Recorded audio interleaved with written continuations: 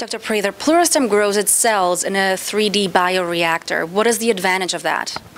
Yes, uh, the industry norm today is to uh, grow cells in a flat surface or a petri dish.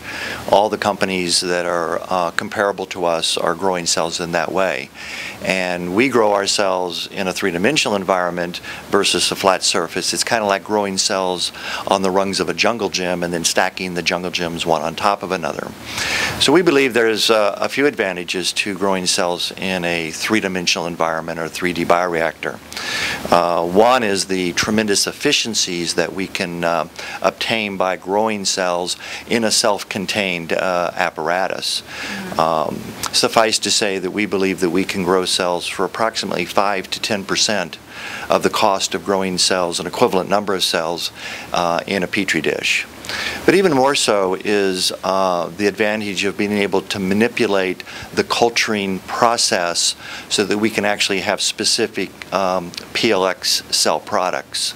Um, we can do this because the cells are growing in a three-dimensional spatial configuration where they can talk to one another and that uh, causes the cells to actually look differently and then express um, different proteins.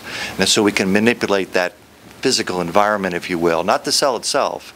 In that regard, we're just farmers. But as far as um, manipulating the culturing process, we can actually have different PLX cell products.